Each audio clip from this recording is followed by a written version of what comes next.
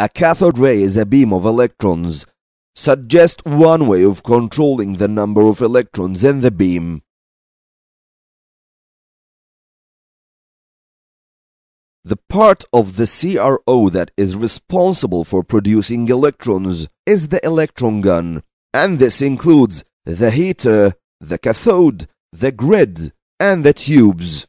The cathode and the anode are connected to the DC high voltage power supply, the main method to control the beam of electrons that is provided by the manufacturer of the CRO is the grid the grid which is connected to a negative potential, so it has the same charge of the electrons, repels the beam of electrons and focus it in the center. The amount of negativity of the grid controls the number of electrons that pass through it towards the anode and then the screen. So the main method is controlling the negativity or the potential on the grid but other methods can be used. Also the temperature of the heater filament can control the number of electrons. As temperature increases, the number of electrons emitted from the cathode will also increase.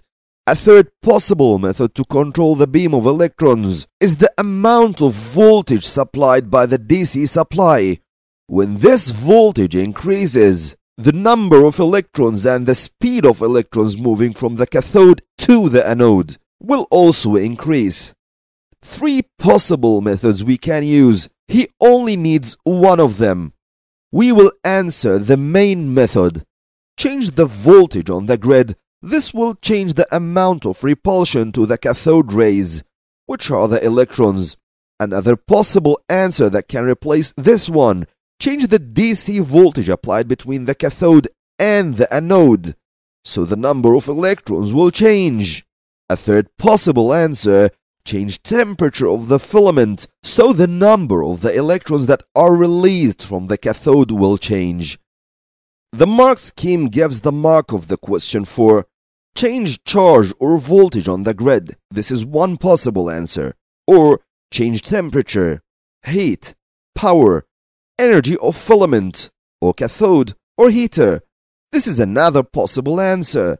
A third possible answer is change cathode anode potential difference or cathode anode voltage. Only one of these answers is needed.